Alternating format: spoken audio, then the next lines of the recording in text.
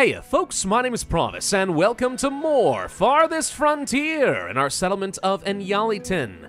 Not gonna lie, just had a little bit of a heart attack moment because I loaded up the game, and what did I find? A big black screen of nothingness. Not what you want to see when you're starting up a new recording session. Fortunately, it looks like a second reload has solved the problem. Hopefully it stays that way.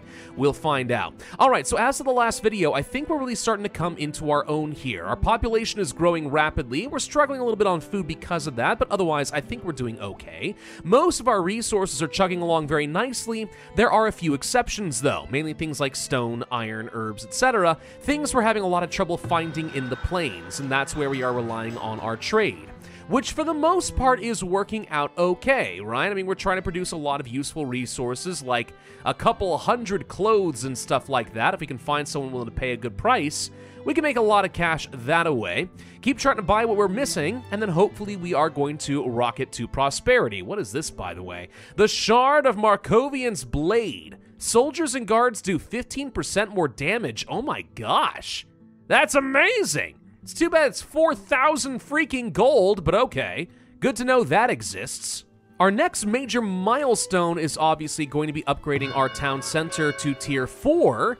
For that, I need a whopping 400 population. We need more than twice what I've got right now. Yikes. And 25 large houses is very expensive. Yeah, this is not going to be happening anytime soon. This is going to be a very slow going process. That's fine though.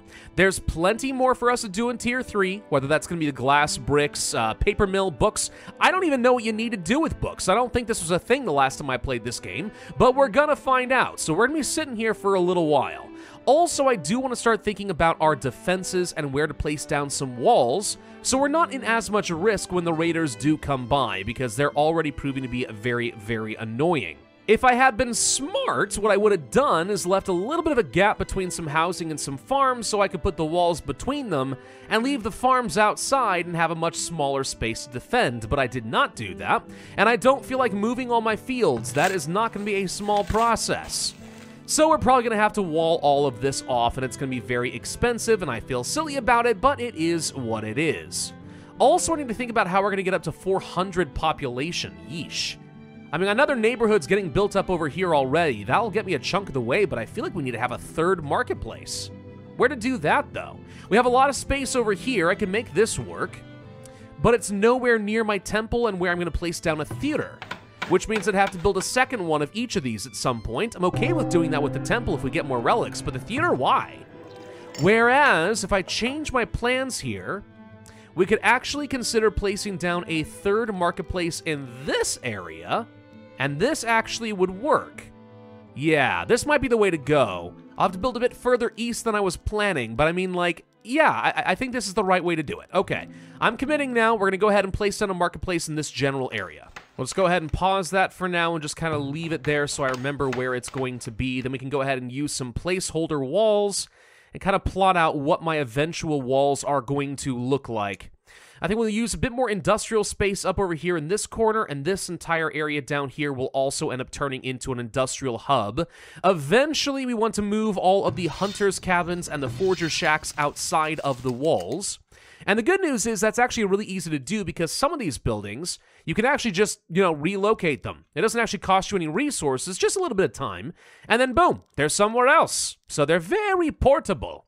I also need to gather up all the stone I can in a few other spots. There's some big rocks over here, which will be helpful when I want to start building up my walls. Because, yeah, we really don't have a lot. I believe we did find an infinite stone source somewhere, though, at some point. Eh, I found the clay over there. There's a lot more sand over there. We'll find it. If I recall correctly, it's out here somewhere. There it is. So this will solve our problems eventually. Iron is the real kicker. That's the one that sucks. Oh, let's also make sure we turn on our pub, because we can do that now. I'm producing plenty of beer using honey and wheat, which honey might be a little bit weird, but I guess it kind of makes sense. You got to give some sugar to the uh, proper, what is it, enzymes, bacteria, something inside of the alcohol that actually converts the sugar into alcohol. So that's what you're looking for there. But over at the pub, we should be able to start generating a little bit of extra tax income simply by virtue of making all of our people very drunk. As long as they don't get violent, that's going to be fine. So okay, this could be a nice little amenity we can add into our population. We are getting a little bit full in some of our storage here, by the way. The stockyard's almost full. Coal, we're not even using that right now, not really. Uh, we can fix this a little bit, though. If I were to place down a quick brickyard over here, that would use up coal and clay and start getting me a new resource that I'm going to need, so sure, this seems fine. Placing it next to the field where the cows eventually will be located probably seems a little bit cruel in some way, but it's fine. I'm not subject to any sort of US FDA regulations here, okay? It's don't even worry about it. You can barely even taste the soot in the milk. I am concerned about how much money we're currently bleeding. Uh, let's see, the healer's house, no surprise there. Soldier training and guard training. Yeah, what I can do is probably turn off a few of these towers, because right now they are costing me a good chunk of gold. So I can get rid of some of this, and that would be fine. Soldiers, there's not much I can do about that one. In fact, if anything, we're actually getting them at a discount right now, thanks to the relic that I found in the last video, which is reducing their upkeep by 30%. Not great, but you know, not a bad thing, I suppose. I'd like to get a lot more soldiers. But I don't think we're to have that luxury for a little while, not until I'm making a lot more money than this. We have a pretty good number of laborers to go around right now, though. That does feel pretty good. Um, do I want more farmers? I mean, we could do that. I don't know. I feel like there's probably other stuff we really need. I kind of want to have this many laborers just so we can go ahead and extract all the stone and stuff. What other resources might we be lacking? Well, let's see. We're doing really well on things like honey. Probably don't need to make a ton of sand. We should set a quota here. Make sure we don't go over that. Got a lot of hay at the moment. My flax is fine. We got a fair bit of wheat to go around. It's really just things like food, I think. And then, yeah, maybe just more usable items, more trade goods. Well, the bricks are up at least, so that's good. We'll have a couple of people work here. Take that coal, take that clay, make bricks. Another winter come and gone. Year 22 begins. Dude, we're having a really good time of it so far. Considering I've got pitiful defenses, I'm kind of surprised we're holding out as well as we are. By the way, I just want to take this opportunity to say a very big thank you to a lot of you guys who have been supporting me through this series so far. It always means a lot to me. I, do put a lot of effort into making the videos I work on. It's not necessarily like trend setting on YouTube, right? I don't follow the meta. I just play the games that I want to play in a way that I think is kind of respectful to the medium and not trying to go for memes and stuff, right? Not that there's anything wrong with that, it's just not my style. So it does mean a lot to me when people do show up and actually like what I work on. Actually, that's the best thing for me. There are a lot of ways to support the channel, there really are, but Best thing you can do, just show up, watch the video, be happy, enjoy what I make. That's what I like doing. I hope you guys enjoy it too. So, thank you all. Really does mean a lot. And Raiders are on the way. Okay, I was feeling really grateful. Now I'm feeling a little bit less so. That's not your fault, beautiful viewers. Everything's... Uh, yeah, no, this is just the game saying, oh, you're happy? No, don't be happy. Be sad. This is what I get. This is what I get for opening my mouth. It's my own dang fault. All right, well, we do have soldiers we can mobilize. Uh, I'd like to place them maybe close to a tower over here, because this is the least defended. I've got good reason to believe that the enemies are going to make a beeline for things like my vault, but that's where I have a bunch of towers. As long as they get here with bows, we'll be okay, I think. Over here, a bit less so. Oh, we can upgrade our root cellars, by the way. Oh, it takes bricks. Of course it does. Hmm, great. Looks like we're just starting to see them. What is this? Did you guys bring a freaking battering ram? Holy crap, they brought a battering ram! Dude, did any of your scouts report that my walls are like almost non-existent? What the heck are you guys doing? Well, my people are fleeing and retreating, which is good. Um, I did not expect these raider thieves to get up here. Why are they all tending the fields? Oh, for frick's sake. All right, flag the combat area this way, please. Deal with the raiders. I really don't care about the battering Fine, go ahead and destroy it. It's trying to knock down one of my houses or something. Now they're running away. They can't even steal anything. What a useless ram. Eh, whatever. All right, so they're up over here. They're getting shot in mass. My people are running around in a panic. We have nowhere near enough places to garrison all of my people. You know? They can all retreat as much as they want to, but like, if they're running and panicking in the streets and not taking cover, this is how the raiders kill them. We did lose a couple of soldiers, by the way, looks like. Of course we did. Because, you know, why have armed soldiers? They'll just get themselves killed. This is why tower defense is the name of the game. Whatever. Hey, cows! All right, somebody finally brought some cows. I need a lot more gold. Well, how would you feel about buying a lot of clothing in exchange for those cows? Also, maybe buy some leftover beer. I've got some wonderful arts and crafts projects you might enjoy. Villager has died. A building was destroyed. Wait, what's going on? Oh, for frick's sake. There's one more raider hanging out.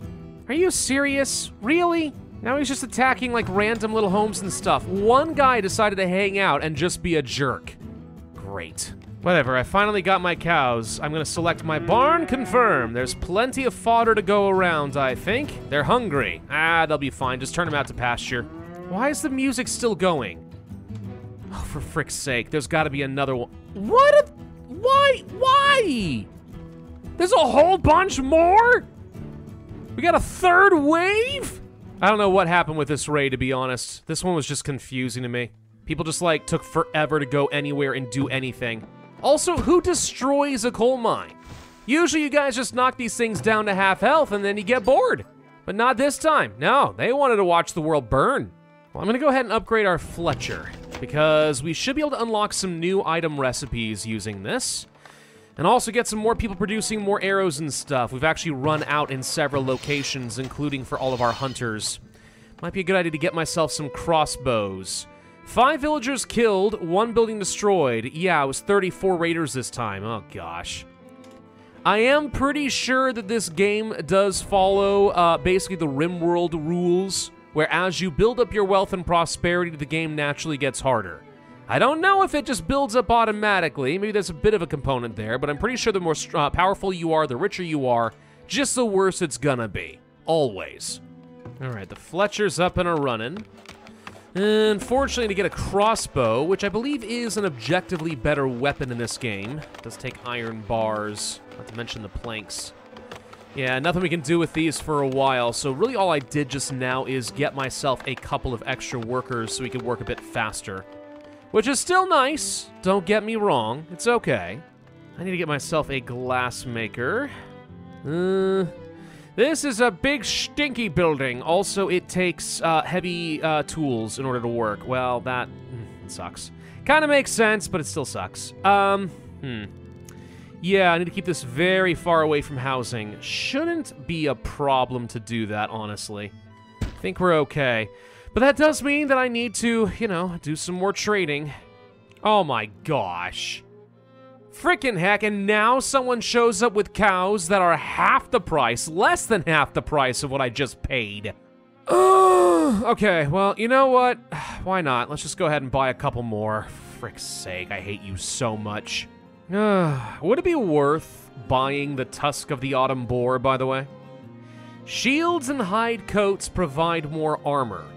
Good for frontline soldiers. Good for defending against animal attacks, by the way. Our people do wear hide coats and it provides a certain level of protection.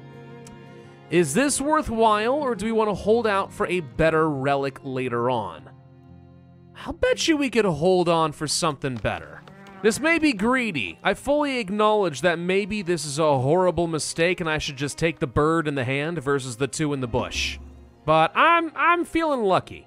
Well, not really, but maybe a little bit later. Starting to produce a bit of milk here, by the way.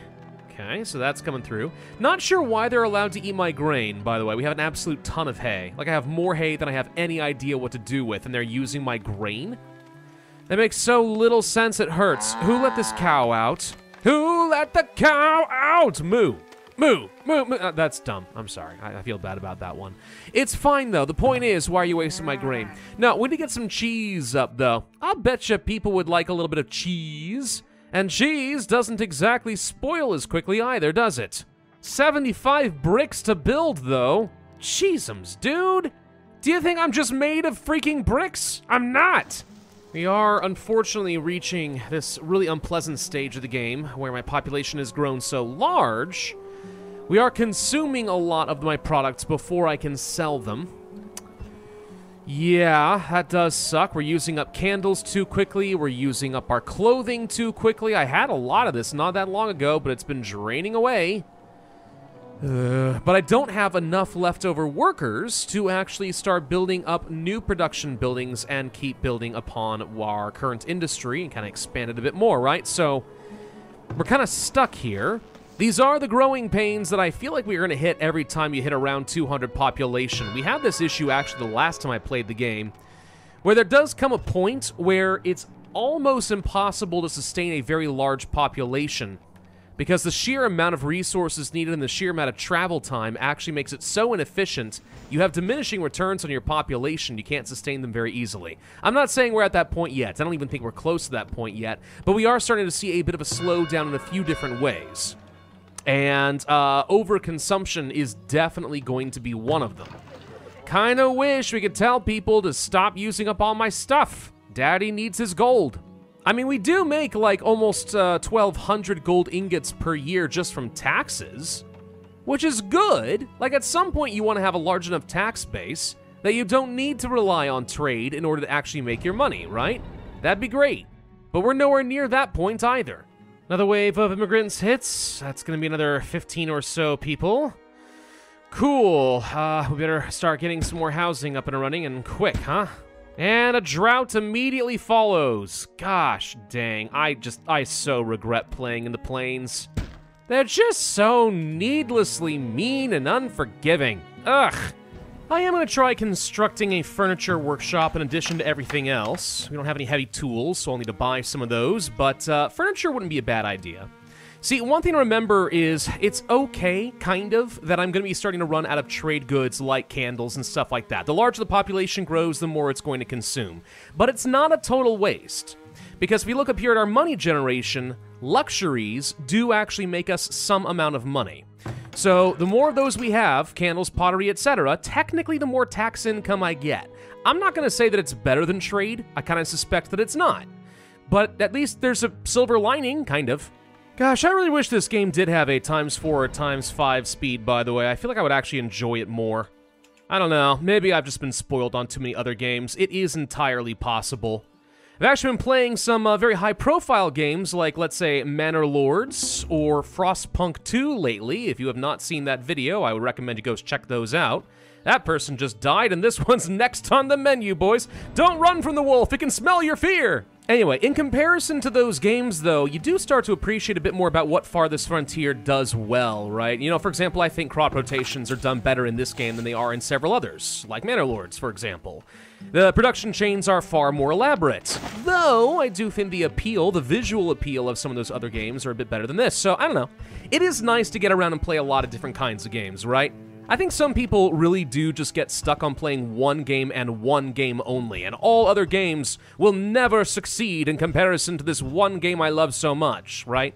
I'm not saying anyone here is saying that about Farthest Frontier. You guys are generally pretty cool, but you get the idea. I don't know. Variety is how you learn to start appreciating all the different strategies and the different ideas that the different game development studios have, right? I don't know. That's just at least that's how I think about it. It's one of the reasons I can justify playing a wide variety of games. Oh, hang on. Atka of the Iron Clan would like to buy my beer.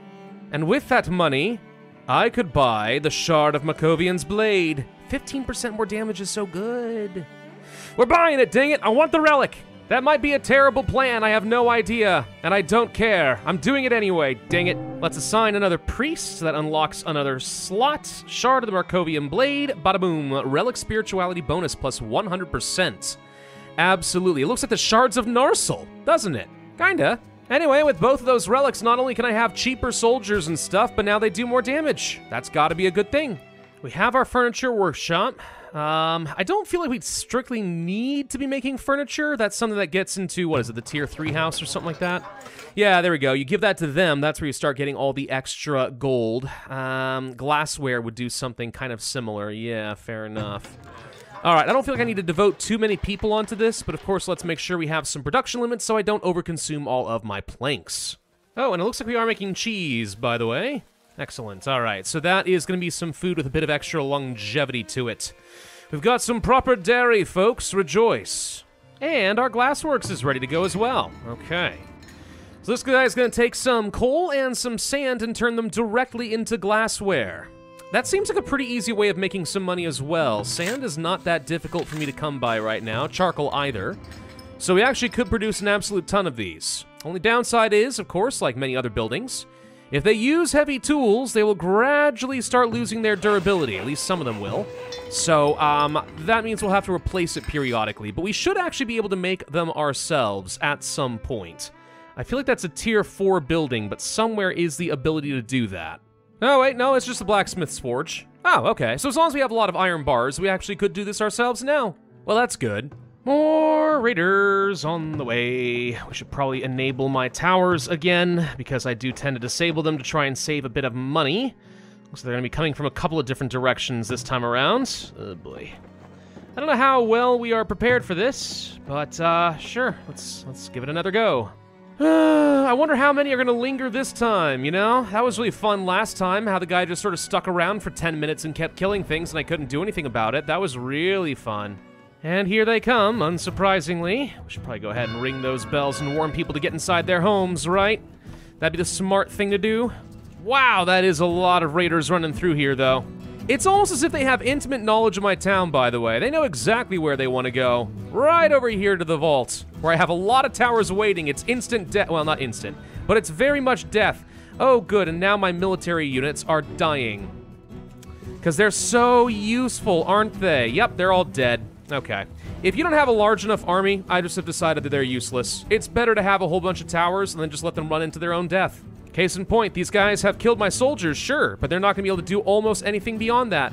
There, they're all gone. Bye. On the plus side, I no longer have to pay any more uh, salaries. That That's good, right? Kind of? Honestly, I wouldn't fault you for thinking that I'm a terrible military commander. Not exactly making a good showing there, but to be honest, the Raiders are such a nuisance and not really that much of a threat that, like, I don't know, do I really feel like I need to invest every bit of my time and resources into walls right now, or can we just maintain the status quo? Oh, however, we did find a raider encampment. Okay. Now, see, I did not know that was over. First off, who went over here? Why did a villager wander up the... I have no idea. But we found a raider camp. Okay. No, really, though, why did you go that way? Jeez. So we'll have to destroy that, because that is one place where the raiders are able to spawn. I can upgrade my markets? Woo, we should consider doing that. Extra workers, more income, larger work areas, blah, blah, blah. Oh, yes. Yes, this seems good. I would like to make extra income. I want to tax these people for all that they are worth. By the way, I did spend some time reworking all of my crops. So now we have proper crop rotation and that they all kind of follow the same template, no more hodgepodge. And also, I intentionally rearranged a few things because I was getting really tired of things like my peas dying to heat stress. So now I've moved them to being either at the beginning of the growing season or the end, but they should not be growing ever during summer. Hopefully this means that I will have more consistent food. Whoop, and mine is out of ore. There goes all my clay. Alright, that's actually a small problem. Um, because that means I'm not going to get any more bricks, and I know we had a infinite clay deposit, but it is deep. And the only way we're going to get a deep deposit is if I'm at tier 4, so we can get a special deep clay mine. So until I get to a point where I can do the great upgrade, which I can't for a while still, that's gonna be a small problem. We now need to buy all of our clay. Mm-mm-mm. Not happy about that. Oh, this also means I can't even build my theater.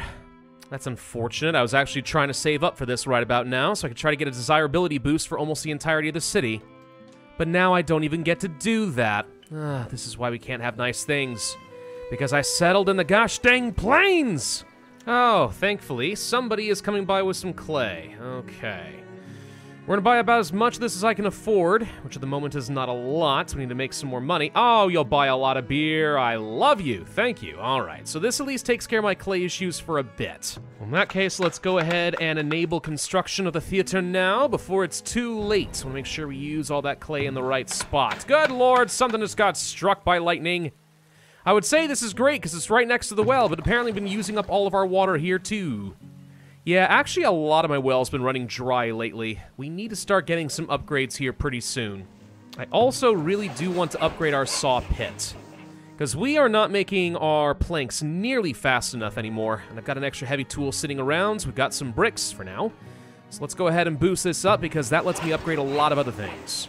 There we go, that looks a lot better. Okay, now we're making use of heavy tools. We can even assign a couple extra people over here.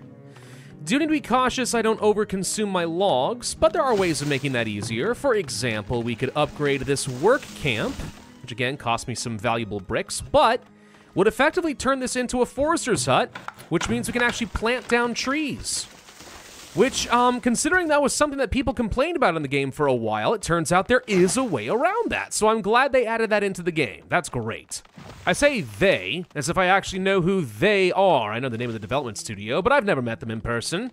That said, on the off chance they're watching this video, hi, how you doing? I love your game. It's great. Thank you. Whoa, why do I have 40 laborers all of a sudden? I think a whole load of children just grew up out of nowhere. Ah, children, they do grow up so fast, don't they?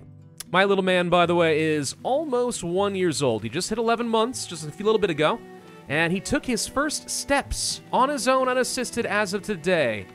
Really crazy. Feels like that just went by in the blink of an eye. That's one of those little things where I'm pretty sure none of you guys actually care, and I don't blame you, but I don't know, I'm proud of it. Hey, the theater is built. Okay. So with this thing set up, entertainment now goes around to, looks like pretty much the entirety of my town. Well, ain't that just fine and nifty? Does cost me 30 gold per month, which is a little on the expensive side, so that sucks. But, you know, okay, cool. Yeah, happiness can go way, way up. If only that translated into more money, I'd be a lot happier. Oh, crap, and here comes Raiders again. okay, I'm slowly working on walls. Not that it matters all that much. Where are they all coming from? Are they all coming from this one direction? Certainly seems like they're all coming from the same direction. of course. Well, oh, and they're actually already here. Oh. Well, that's going to be a small issue. Um, hopefully they don't all make a beeline for this tower. At least a handful of them are. Right. Let's go ahead and ring the bell. Hopefully they are stupid and go for the vault as they usually do. As long as this tower doesn't get destroyed, and it looks like it barely is going to survive. Like, three or four of them break off to attack towers, but as long as there's two people in there, Looks like they're able to wound them enough that it's not an issue. Oh yeah, look at them try to go for the vault. Look at them once again trying so very hard. Bless their hearts. Yes, bless their arrow-ridden hearts. Oh well, that was easy enough. Alright, well, tell you what, let's do one last thing before I end this video. I want to go ahead and upgrade our trading post. Why? Because it's going to bring better traders, in theory. More specialized traders. I don't know if the prices will be better, probably not, but I mean, you never know. We might get some good stuff. Also, it's another one of the prerequisites in order to upgrade in Yalitin to Tier 4, which is going to get me those deep mines that I want. Quarries as well as clay pits. So I really want to work my way up to that. We're still a ways off, though, unfortunately. I do need to have more large houses, which we're getting there with the desirability up. You know, we're doing that. But 400 population, still a long way to go. And my food production is barely skating by still. We're not overproducing, but we're not underproducing either. I don't know. 400 population, man. There's still a lot more that we need to do for that to become viable, but okay. Huh, there we go. Okay, so the trading center is up and running. Now, I seem to remember in the very beginning release of the game, if you upgraded this thing, it actually broke all traders. right, I probably should have thought of that ahead of time. So hopefully that does not happen here. If it does, I'm a gonna be a very sad boy. In the meantime, we'll go ahead and get ourselves a blacksmith so I can make myself heavy tools and so on. We are planting a whole mess more fields down here since I've got a lot of workers to spare. So we can bump ourselves up to about 65 farmers in total, and hopefully this means we're going to have very sustainable food going forward. The theater is built, the trade center is upgraded, I just need another 126 people and I need to boost up that desirability a bit more. If we can do that, we are ready for tier 4. 5,000 gold, though. Oh boy, that is going to be a hard sell for me. Thank you all very much for watching. I hope you enjoyed this video. If so, I would ask you hit that like button, leave a comment, subscribe, make sure you hit that notify bell, and I will see you guys next time.